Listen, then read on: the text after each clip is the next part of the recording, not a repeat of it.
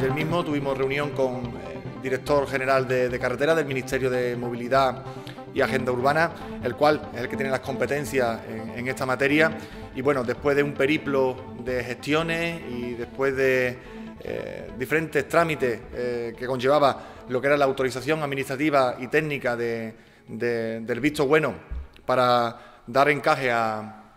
a ese acceso a nuestro casco urbano y, al acceso al polígono, pues nos encomendamos a la tarea de, recabar y de aglutinar la, inversión económica que, supone, una inversión económica que ronda el millón y medio de euros en cuanto a, la ejecución que supondría pues, eh, la mejora en cuanto a la normativa de seguridad vial, que es el, problema base del que partimos, junto con eh, las ramificaciones que supone para conseguir acceso a, nuestro polígono. Y de ese millón y medio, pues entendíamos que el Ministerio tenía que asumir parte y, de hecho, ayer nos confirmó a través del compromiso directo del director general que asumirá eh, una parte, prácticamente el 50% de esa inversión que supone la ejecución de los carriles de, aceleración y de aceleración junto con el enlace que entroncará eh, con el resto de, trama eh, y de vía pública que conllevará la mejora de nuestro polígono en cuanto a acceso y de, eh, acceso a nuestro casco urbano. Entendíamos que, tenía que darle, teníamos que darle una respuesta,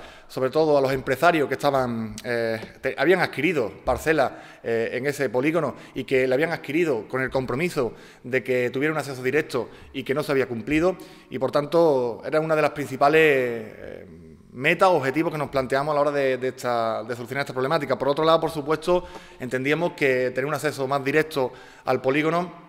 eh, proyectaba mucho más el polígono, entendíamos que impulsaba mucho más su ocupación y su puesta en marcha y dinamismo y, era algo clave desde el punto de vista de desarrollo económico y de desarrollo eh, social con lo que conlleva en cuanto a empleo. Es decir, eh, tener eh, un polígono con un acceso directo pues es un polígono más atractivo para que empresas se, ubiquen y construyan